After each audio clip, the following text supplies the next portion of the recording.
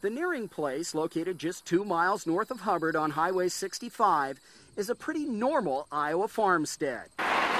Gravel driveway, big red barn, lots of animals. And then there's Annie. Annie is a one and a half year old purebred border collie. She's fun to watch. Border collies are born with the herding instinct. People will slow down, honk.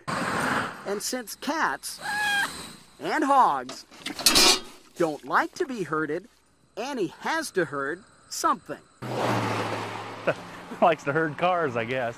Jeff Nearing is Annie's owner. I don't really know exactly when it started. She just started hanging out by the road, and the next thing you know, she's just up and down the hill all day long. Nearing says Annie hits the road early each day and remains right here in her rut. Where'd she go? For 10 hours a day or more. It's a well worn rut, too. Her little paws have even pounded a path in the gravel. Here's how Annie cases her 200 yard stretch of concrete. First, she picks a spot where she lies in wait, hiding, hawkeyeing the horizon for a victim. Come on. She's working.